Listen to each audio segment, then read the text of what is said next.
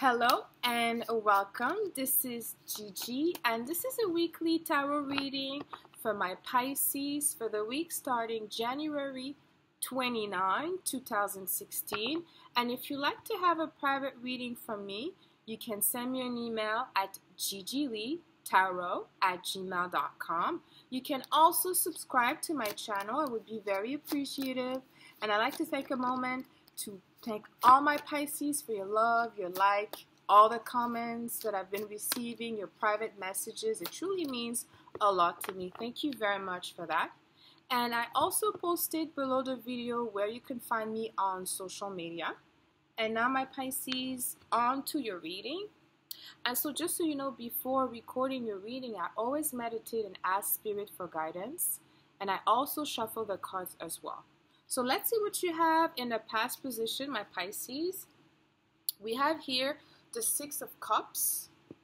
Okay. Coming in a past position. It's a great card. It's a, it could uh, signify a reunion with a past um, a past lover, but it could be a past friend as well. Okay. Um, the Six of Cups really is um, it's a return to innocence in its on you know in its simplicity, purity. Okay, so if you didn't meet someone from the past, it could be that you had a week when you were able to have some fun. You know, maybe some kids were involved. You know, maybe it was just you know you being able to relax, disconnect completely. You know, it's your it's your birthday month. Okay, and so I trust you had some time also to enjoy yourself with other people, the people that you like. Okay, um, the Six of Cups sometimes also it's a desire for change. Okay, um, so because you go back in the past to figure out, you know, a few things. So it could mean also that you some of you may have a certain desire to reconnect with the past or someone from the past as well. And let's see what you have, my Pisces, in the near past position. We have another six here. We have the six of swords, okay? The six of swords, it, it, it sometimes it's a smooth passage from difficulties, okay? Uh, it's when you decide to let go. This energy also does some abandonment there. Okay, it's when you just leave people behind or give up on things. Okay, to go to a, a better place.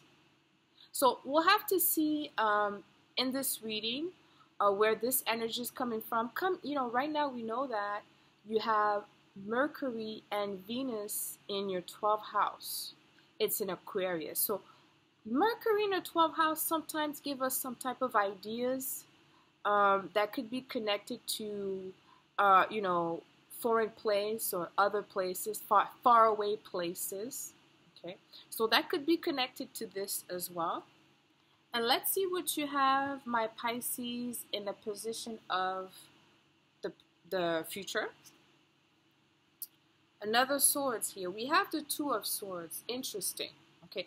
The two of swords, sometime it could represent a blind fate in a direction. Okay. It could be you confirming to, you know, conforming to some type of authority without having, you know, a full understanding of what's ahead of you. Be mindful of that again because this could be triggered by Mercury in a 12th house. Although it's in Aquarius, which is a very intelligent sign, Mercury in a 12th house, in a 12 house for all of us sometimes could make us a little confused. Okay, 12th house is the house of of you know uh, the unknown. Okay, uh, self undoing. Okay, it's a very karmic house. It's a very spiritual house as well. Okay, so here spirit could could just be telling you to be mindful, not to have a you know, a, not to be blinded in your upcoming direction, to be able to see things for what it is, to gain the clarity that you need at this present time. And remember the sun is in your is in your house, it's in Pisces. So, you know, be mindful of that. Um, before making a decision, maybe consult people around you, okay? Or just wait before making a decision. Okay, if it's a major decision here, spirit may be you know, may be asking you to, you know, to look at the pros and cons, okay? Or to maybe ask someone else who, you know, who has a different view just to get a second opinion as well. Okay, and let's see what we have for you, my Pisces, in the position of the outcome. The judgment. Interesting. Okay, judgment. It's it's a you know it's a major arcana, so it's a very very important card.